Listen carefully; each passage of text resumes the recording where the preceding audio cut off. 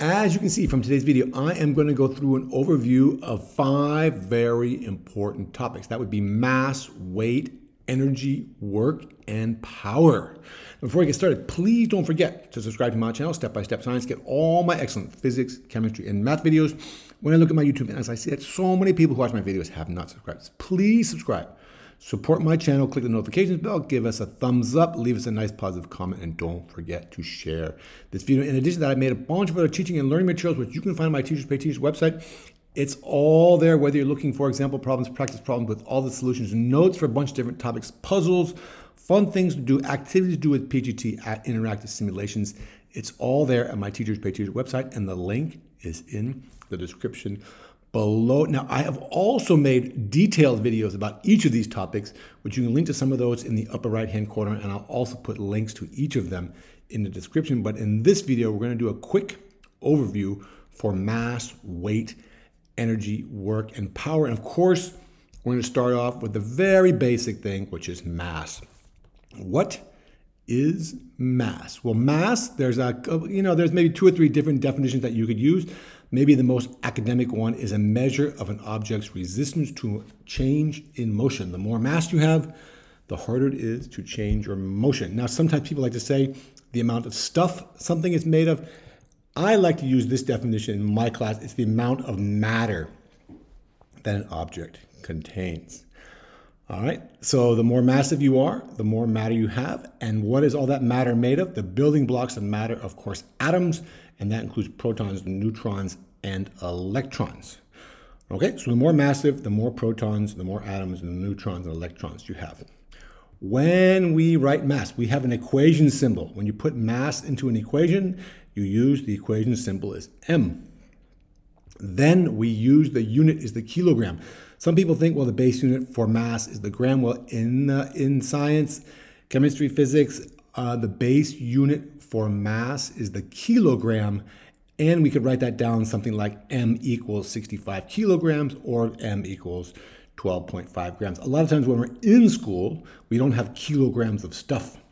We have only grams of stuff. So we do use grams, of course, in other measurements. But when you put them values into the equations, it needs to be in kilograms. All right. And mass does not depend on your location, as your weight does, but your mass depend, does not depend on your location. Wherever you go, you always have the same amount of mass. All right. And you can see, for example, like here, this alien, this guy's big, and this alien, this guy is small. We can make the assumption that he's bigger, he's more massive, he's smaller, he has less mass. Now, mass, of course, the amount of mass also depends on your density and things like that. But for the two of the similar objects, the bigger you are, the more mass you're going to have. All right, now once we know your mass, then we can calculate your weight. All right, and when we calculate your weight, the weight is the force of attraction between two objects that have mass. So in order to have weight, in order for you to actually weigh something, you have to be on, in, in this case, on Earth, because it's the force on an object due to gravity. Okay, it's the force of attraction between two objects. You have weight because you're on Earth and the Earth is pulling down on you. Now, the equation symbol, there's a different way. Sometimes people put a W. I don't think it's so good to put a W. I like to put Fg, which is the force due to gravity, is the equation symbol that we use, such, such, such as, as in uh, Newton's second law, Fg equals mg, as we'll go over in just a moment. And then the unit is the Newton, named after Sir Isaac Newton, and we abbreviate that with a capital N. And we could write that down the force of gravity. The weight of something is 15 newtons, and the weight of something is 0.75 newtons. Okay? Your mass is measured in grams or kilograms. Your weight is a force, it's measured in newton, and it does depend on your location. If you take your mass to the moon, you weigh less, you have the same mass. If you go way up in the air, then you're going to have the same mass, but there's, you know, because you're farther away from the Earth, then your force of attraction is going to be less. Okay. Now, when we calculate the, uh, the, the weight, okay, then we have, for example, the Earth, and you have somebody that's on the Earth, okay, like Zombie Girl. She is attracted to the Earth because she has mass and the earth has mass. And that force of gravity pulls straight down towards the center of the earth. So we kind of use those two terms uh, interchangeably that your weight is equal to your force of gravity. Now, a lot of people don't actually ask you, oh, what's your force of gravity? They ask you what your weight is. But really, it is your force of gravity between you and the earth. And when we calculate weight, we use Newton's second law, but we use it in this form. Newton's second law says F equals ma, all right? And that's what we have here, but we like to use when we're on Earth, Fg equals mg because we know that this is the acceleration due to gravity at the surface of the Earth. So this is the equation that you're going to use to calculate weight. Fg is the weight or the force of gravity, which is measured in newtons. M is the mass, which is measured in kilograms. And then G is the acceleration due to gravity or the gravitational field strength. And at the surface of the Earth, it's basically always 9.81 meters per second squared. All right, so you want to calculate weight, you put in the mass, you multiply it by 9.81, and you get your weight. Okay, so that's mass and then weight. Now we're going to talk about energy. We're going to talk about mechanical energy, and that's gravitational potential energy and kinetic energy. So gravitational potential energy is the next thing, of course. Now, in general, potential energy is stored energy. You can store energy when you stretch a rubber band, you store energy in food, you store energy in a battery, okay? But when we talk about gravitational potential energy, this is our definition for gravitational potential energy. It's the energy stored by an object because of its position relative to other objects. Okay? So that is how you, that's the definition that we're going to use for gravitational potential energy. General potential energy is stored, but when we talk about gravitational, we use this definition. Okay, so the equation symbol that most people use when they talk about potential energy is PE. All right. You might see sometimes people write GPE for gravitational, or they put a G down here for gravitational, but we're going to use PE, and the unit is the joule. Energy is measured in joules. And again, you could write that down, for example, as the potential energy, PE, is equal to 575 joules. Okay? Now, when we calculate gravitational potential energy, this is the equation that we use. PE, the potential energy, is equal to mgh.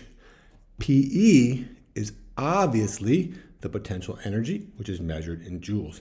M is the mass. Now, when you put the number, the mass, into the equation, it must be in kilograms. If it's in grams, you need to convert it first to kilograms. And g, again, is the acceleration due to gravity, 9.81 meters per second squared. And h is the change in the height. In order to give something some change in potential energy, you're going to have to raise it up away from the Earth's surface, and you're going to have a change in height. Or it's going to be the height above a reference surface. Okay? Now, the main thing that changes something's gravitational potential energy is when its height changes. Of course, you could change the mass, but usually we have an object in order to change its potential energy, we raise it up into the air. So, for example, if we have a rocket and it's at the surface of the Earth, if we want to increase its potential energy, give it more potential energy relative to the surface of the Earth, then we just raise the rocket up. We lift the rocket up. And it goes the same way with any object. You have something on the table, you have something on the floor, you want to give it more potential energy, then you just lift it up to a higher position. All right? That's gravitational potential energy. Now we have the other form of mechanical energy we're going to talk about, and that's kinetic energy. Kinetic energy is the energy of motion. In order to have kinetic energy, you need to be moving. You have to have some speed or velocity. Okay, any object that is in motion has kinetic energy. All right, potential energy has to do mostly with your height. Kinetic energy has to do with your motion. The equation symbol that we will use is Ke for kinetic energy. And once again, since we're talking about energy, the unit is still the joule. James Prescott Joule, abbreviated with a capital J. And again, you can write down that something has a kinetic energy, for example, of 12,750 joules. like that. Okay. Now, when we calculate kinetic energy, this is the equation we're going to use. The kinetic energy is 1 half mv squared. All right, the kinetic energy, KE, is obviously the kinetic energy measured in joules. 1 half is simply 1 half. M is the mass, it needs to be in kilograms.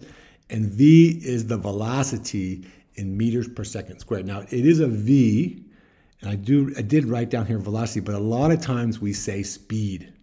Okay, we use kind of speed and velocity interchangeably, but you'll see something is going with moving with such a velocity or something is moving with some speed of you know 10 meters per second then you have to put that into the equation and you have to remember you have to square the velocity it's only the velocity that's squared 1 half mv squared like that okay and again it has to do with your changes in motion or your speed all right now for example here we have a car the car is standing still, it's not moving. Okay, it does have some mass, but because it's not moving, excuse me, it has no kinetic energy.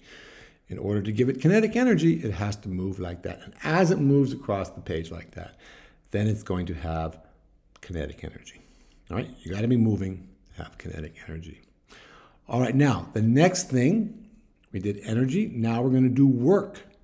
All right, now we're going to do work, and work is done when a force is applied through a distance. okay, you could write this down as a definition. It's kind of hard to come up with a definition for work, but work is done when a force is applied through a distance.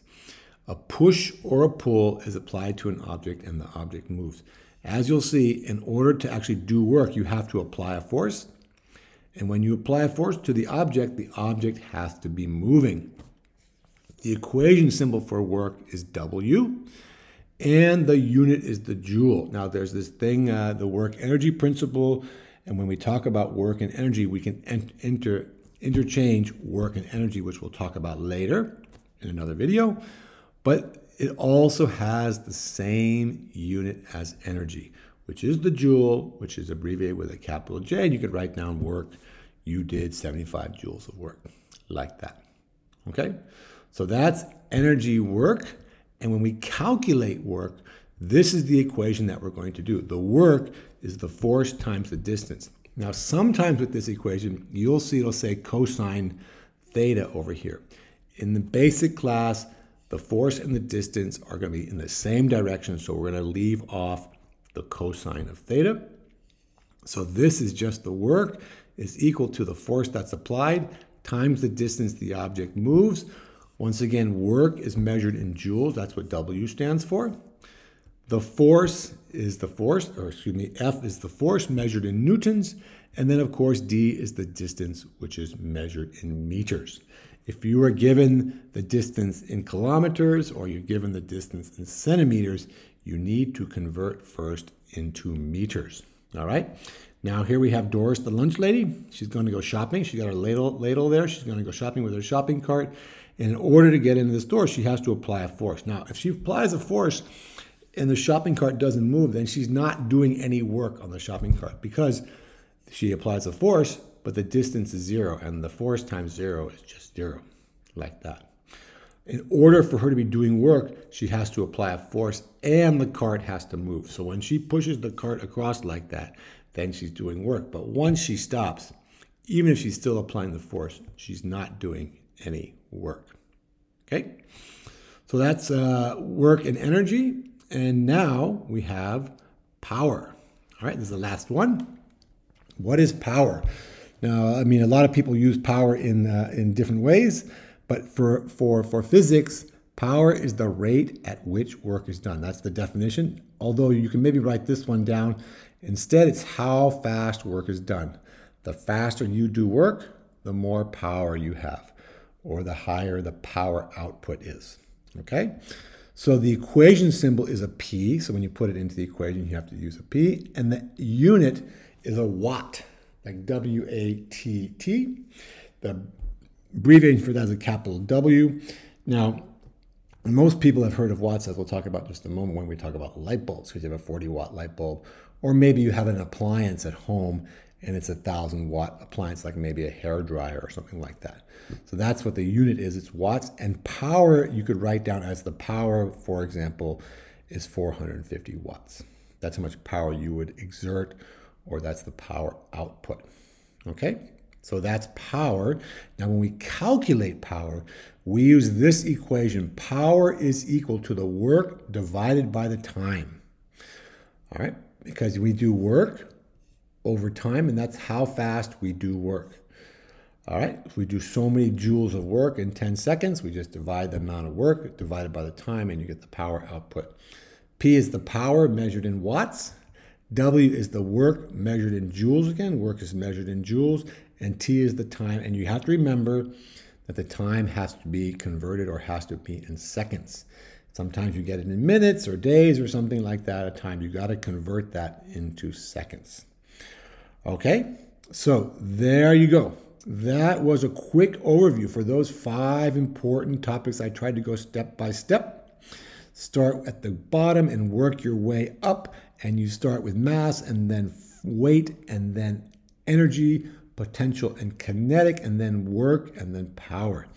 Thank you so much for watching. Hope you found the video helpful. If you did, please do all of the following five things. Subscribe to my channel, Step by Step Science. Please support my YouTube channel. Uh, you should click on the notifications so you don't miss anything, the notifications bell. You should give us a thumbs up. You should leave us a nice positive comment. And please don't forget to share this video. Thank you so much for watching. We'll see you in the next video.